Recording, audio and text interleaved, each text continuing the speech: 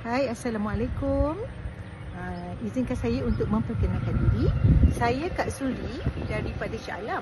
Tapi hari ini Kak Suri berada di Balbuk. Balbuk tu dia balik bukit je. Uh, di Cuping Perlis kerana bercuti. Okey, Kak Suri ingin ambil kesempatan di sini untuk menceritakan pengalaman Kak Suri uh, sebelum dan selepas mengamalkan teknik nafas doa. Kak Suri diperkenalkan oleh seorang sahabat bernama Yana.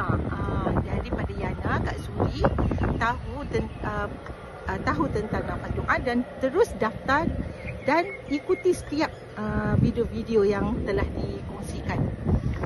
Daripada situ, uh, Kak Suri banyak belajar dan dapat macam-macam perkara yang Masya Allah uh, amazing lah yang berlaku dalam diri.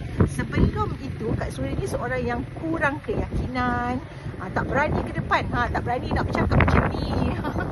Ya, lepas tu Kak Suri ni kadang-kadang ada juga sikit overthinking. Ha, kadang-kadang rasa macam semangat nak buat sesuatu tu Masya Allah tapi bila dah sampai masa nak buat tak jadi. Takutlah tak confident lah. Ha, itulah dia. Kak Suri Okey, uh, dengan izin Allah kan, dengan izin Allah selepas uh, Kak Suri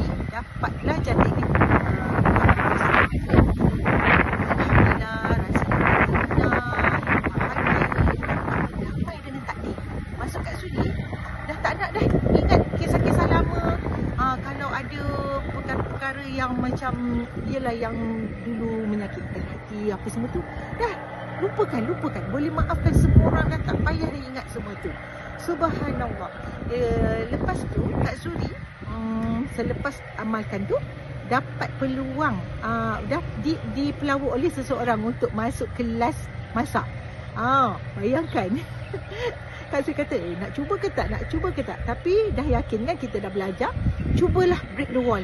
Alhamdulillah.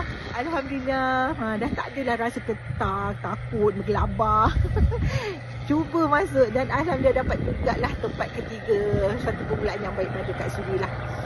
Uh, jadi um, uh, dah, alhamdulillah uh, Kak Suri dapat rezeki berada dalam circle yang baik. Uh, telah menjadi salah seorang daripada affiliate sebab rasa macam perlu untuk bantu orang lain uh, turut uh, sama uh, belajar teknik ni. Okey, bila Kak Suri dah ada keyakinan, Kak Suri nak bercerita tentang nafas doa ni sangat mudah. Dalam masa yang sama, Kak Suri ada sekawan daripada Brunei yang mengalami masalah uh, depression dan anxiety yang sangat kronik lah. Uh, dah, dah bertahun-tahun. Jadi pada hari yang sama ya, dalam satu hari yang sama ni, kawan Kak Suri ni um, uh, dia dia nak tahu tentang nafas doa. Jadi Kak Suri cerita, Kak Suri ceritakan bagaimana permulaan Kak Suri dulu uh, mengamalkan teknik nafas doa ni dan uh, alhamdulillah dengan penuh yakin Kak Suri bercerita, dia pun yakin dan nak juga uh, daftar. Alhamdulillah. Kemudian kebetulan kawan Kak Suri yang seorang lagi ni pun dia sedang uh, berada dalam keadaan yang keliru. Dan keliru. Dia dah mula nak anxiety. Dia sebabkan uh, dia risau. Dia nak pergi umrah uh, pada bulan Ramadan yang akan datang. Uh, dia dah bayar pun deposit. Tapi suami dia uh, dah agak uh, berumur jugalah. Uh, dah 72 tahun. Tapi Kak Sui kata Masya Allah, jangan risau. Doakan daripada sekarang. Uh, mana tahu uh, doakan. Mana tahu dengan izin Allah kan bila kita berdoa, suami yang 72 tahun tu mana tak kita minta lah agar dia sihat dan kuat seperti umur 27 tahun terbalik kan. Tak mustahil kan tapi insya-Allah yakin dan buat.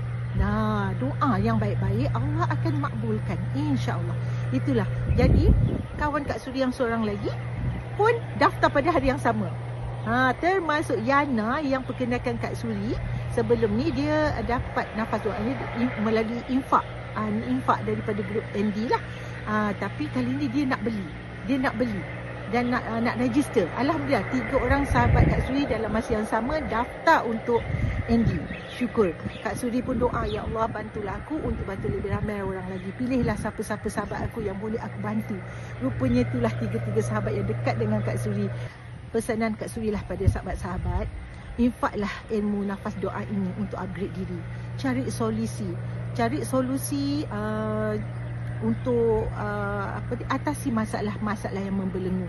Tak mustahil bagi Allah. Allah nak tengok uh, usaha dan ikhtiar kita. Kalau kita nak berubah jadi baik, insya-Allah Allah yang Fatah akan bukakan jalannya.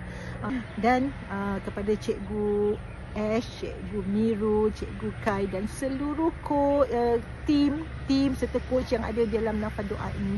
Teruskanlah perjuangan yang murni ini.